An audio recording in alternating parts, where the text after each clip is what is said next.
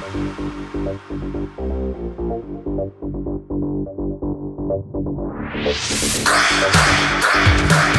the vinyl, up the vinyl.